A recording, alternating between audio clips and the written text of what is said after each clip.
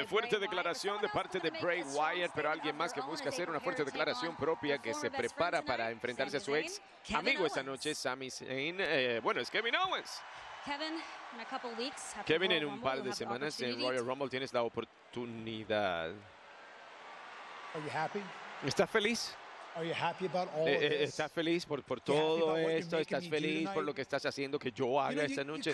Sabes, tú, tú, tú- no podías dejarlo ir. Tú no podías dejarme en SmackDown para que hiciera mi cosa con el linaje. No podía quedarte en Raw. Ah, yo, yo, yo estaba en Raw. Que, que, que yo te estoy haciendo, yo estaba en Raw. El linaje, el linaje vino a Raw semana tras semana hablando y hablando y hablando. Y yo decidí entonces que yo iba a llevarme al linaje pedazo tras pedazo. Y si tú quieres ser uno de esos pedazos, eso es problema tuyo. Vamos, yo, yo, yo pedí este No. Combate esta noche. No. Pedí el combate por equipos con? Cena. No, ¿sabes quién lo hizo?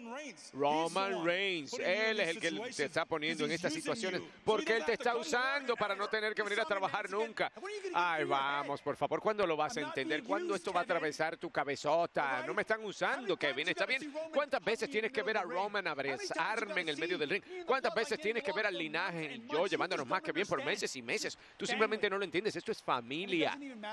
Y ni siquiera importa porque ahora yo tengo que encargarme de los negocios y yo estoy orgulloso de encargarme de ese negocio esta noche. Bien por ti. Sí, sí, bien por mí. Te veo allá afuera. Buena suerte.